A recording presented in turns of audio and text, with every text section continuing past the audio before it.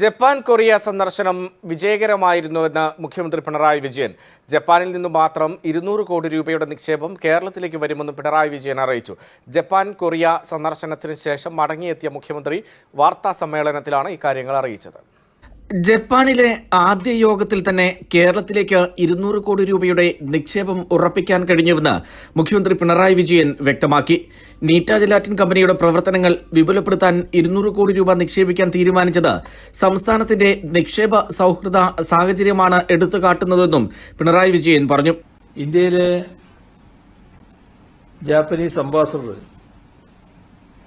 Keralam Japanese നിക്ഷേപങ്ങൾക്കും വ്യവസായങ്ങൾക്കും വളരെ അനുയോജ്യമായ സ്ഥലമാണ് എന്ന് വ്യക്തമാക്കിയിട്ടുണ്ട്. ഈ അനുകൂല സാഹചര്യം കുറെ കൂടി ഫലപ്രദമായി ഉപയോഗിക്കുക. അതാണ് ജപ്പാൻ സന്ദർശനത്തിലൂടെയും അവിടെയുള്ള വിവിധ കൂടിക്കാഴ്ചകളിലൂടെയും ശ്രമിച്ചത്.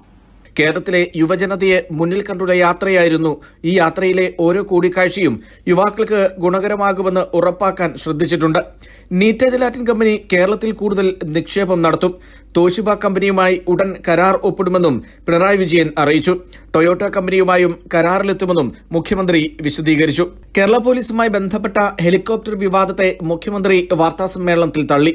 ഹെലികോപ്റ്റർ വാടകയ്ക്കെടുക്കുന്നത് പോലീസിന്റെ കാര്യക്ഷമത കൂട്ടാനാണെന്ന് മുഖ്യമന്ത്രി വിശദീകരിച്ചു. വ്യോമസേനയുടെ സാങ്കേതിക വിദഗ്ധരുമായി ആലോചിച്ചാണ് തീരുമാനം. കേന്ദ്ര സർക്കാർ സ്ഥാപനമാണ് ഹെലികോപ്റ്റർ നൽകുന്നത്. കേന്ദ്ര സംസ്ഥാന സർക്കാരുകൾ തമ്മിലുള്ള ഇടപാടാണ് ഇതെന്നും നിരക്കിൽ കാര്യമില്ലെന്നും മുഖ്യമന്ത്രി വാർത്താ സമ്മേളനത്തിൽ അറിയിച്ചു. News desk N T V. വാർത്തയ്ക്കൊപ്പം നന്മയോടൊപ്പം. NTV UAE to the world.